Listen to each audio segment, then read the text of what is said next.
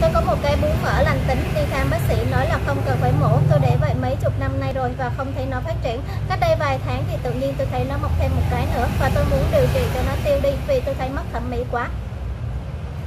Chào bạn, bú mỡ hay còn gọi là u mỡ là một dạng khối u lành tính và không ảnh hưởng đến sức khỏe. Tuy nhiên thì bú mỡ thì sẽ ảnh hưởng đến thẩm mỹ và đặc biệt là những khối u mỡ ở cánh tay hoặc là mặt cổ.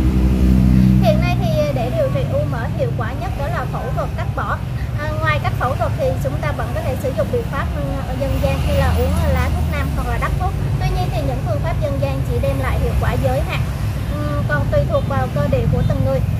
Dùng à, uống cây lá thuốc nam thì bạn sử dụng hai vị thuốc dân gian, đó là cây xạ đen và quả kế đầu ngựa sắc chung với nhau với liều dùng như sau.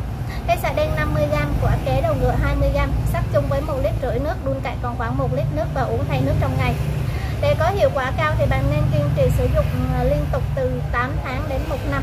Một số thông tin tôi xin phép được chia sẻ đến với bạn.